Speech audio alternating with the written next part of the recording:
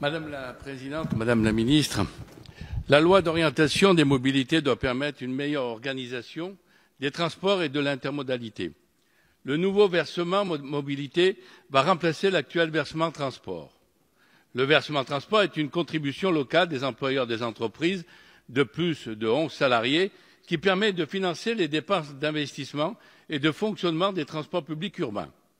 Elle est recouvrée par l'URSSAF au titre des cotisations sociales pour être réservée aux autorités organisatrices de transport, communes, départements, régions, etc.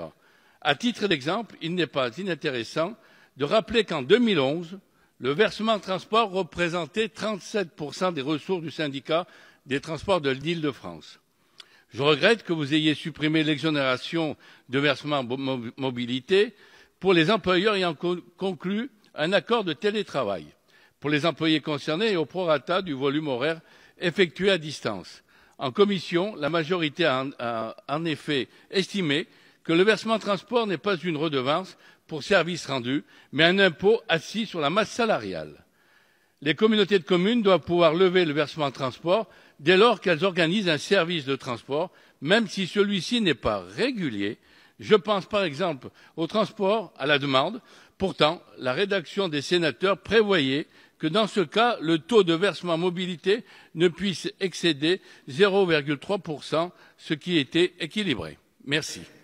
Merci, monsieur le député.